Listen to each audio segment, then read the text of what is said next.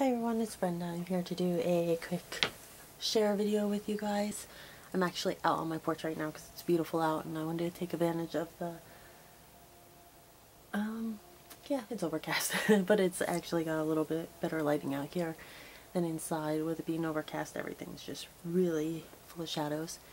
And I wanted to share this with you guys, and I did peek, sorry. I love this card. This is from Aunt Becs Creations here on YouTube. I'm going to leave a link to her channel below, so make sure you guys check her out and send her some love. And I did read the card, but I wanted to show you guys.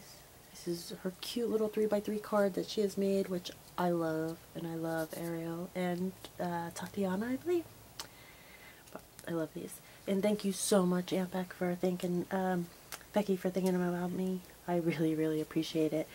Um, what you see now is kind of how far I peeked. And I'm assuming this is a bag. Um, and sorry, I have some hair on there. Uh, it is. So I, oh my gosh. Just so you guys can see, it is this gorgeous tote bag, which I love. And this is, um, I'm not quite sure what it's called. I know, like, like red work, but I'm not quite sure what the material is called on it. But I love this. She said that she had some specialty yarn she wanted to give me that she thought of me. So thank you so much. I appreciate it. And what I'm going to do is I'm going to just kind of go through a few of them with you. I don't want to take up all the time. And Aunt Beck, I will be messaging you. Um, but it's the Luster Sheen from Red Heart, which I love. I have never seen this before, but I'm excited to play with all these. Um, let's see. There's some alpa uh, alpaca light and a brown.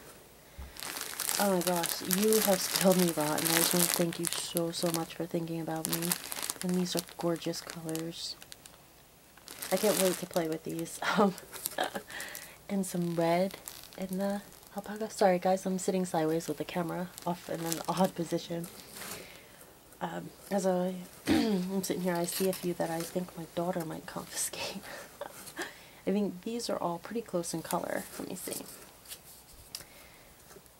These are Reynolds. And these are awesome. Let me see. Made in Brazil, which is awesome. I've never had any of this stuff. This is so cool. So excited to play with this. And there's um, Department 71 candy. And this has got mohair. I love this. It means it'll be super, super warm. I know a lot of people have um, and some white and it's beautiful. I know some people are allergic to mohair, which is like, um, I believe it's goat, and I'm not. Um, I do really love it. Um, some people are allergic to alpaca, but I'm not either. Not that I found anyways. Let's see. And this is superwash wool and nylon, so it's shepherd socks, so this would be perfect for socks. And this is is that the color? Somerset is the colorway. And I don't even know if I'm on camera. Look at that gorgeous color. I love this. And I think my daughter will probably benefit from this. um, yeah, 215 yards, so this would definitely be enough to make a pair of socks, which I love these. Oh my gosh, Aunt Beck, you spoiled me rotten. I love this. Thank you so, so much for thinking of me. And they will definitely get a lot of use. Oh my gosh, I just don't know what to say.